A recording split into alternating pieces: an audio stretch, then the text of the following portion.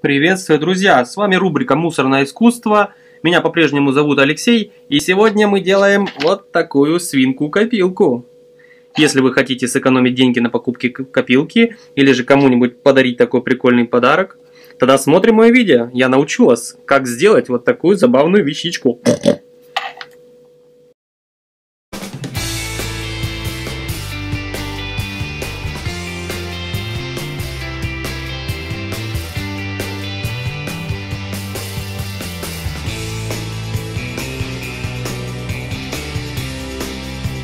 Для сегодняшней нашей поделки нам понадобится баночка из-под спортивного питания, цветная бумага розового или сиреневого тонов, цвет нашей хрюшки, палочки для суши, из них будут ножки сделаны, наш неизменный перочинный ножик, маркер и ножницы, ну а также клей ПВА.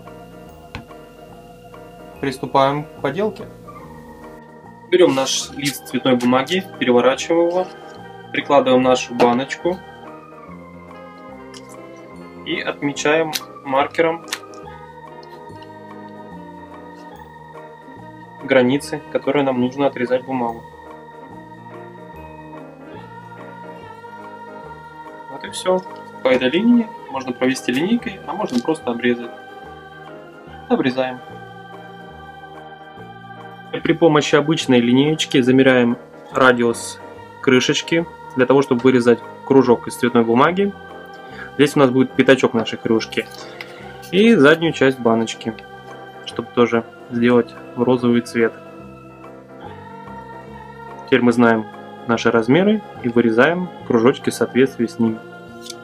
По итогу у нас должно получиться большая полоска для обклейки всего корпуса баночки задний кружочек и передний для пятачка. Приклеиваем.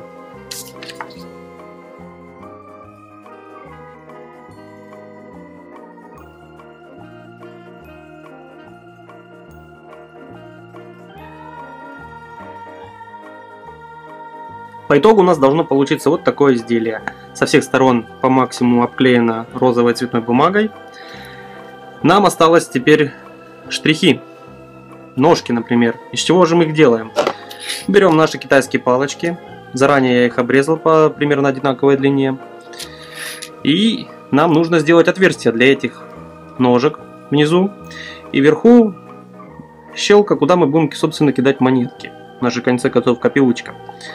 Итак, приступаем к проделыванию отверстий в нашей бочке. Теперь вставляем наши ножки проделанное заранее отверстие. Раз. Два.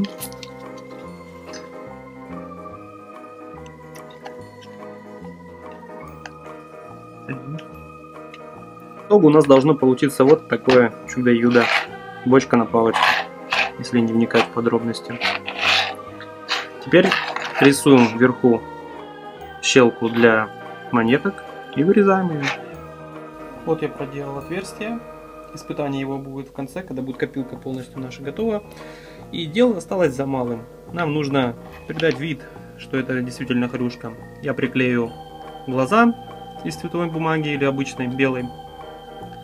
Наклею ушки, нарисую ноздри у пятачка и сзади хвостик крючком. В принципе и все. Вернусь после того, как все это проделаю. Ну вот, друзья, моя свинка-копилка из баночки готова. Как видите, нарисовала и ноздри, ротик, язычок. Даже если посмотреть на саму сам пятачок, он как отдельный смайлик. Глазенки, ушки смешные. И сзади что-то подобие хвостика. Мне мое изделие нравится. Не знаю, как вам. Надеюсь, тоже. Если нравится, ставьте лайки. Ну что, проведем тест-драйв. Первый пятачок в наш пятачок. Извините за повторяющиеся слова. Итак, беру монеточку. Вуаля, все готово.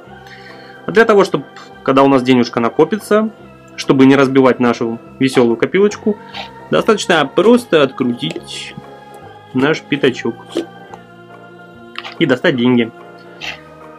Надеюсь, вам понравилась моя поделка. Подписывайтесь на мой канал, ребята.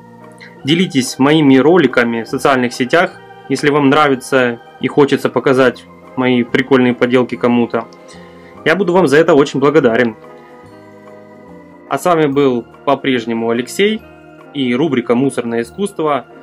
Вам, ребята, я желаю всем всестороннего развития и творческих успехов. Пока, друзья!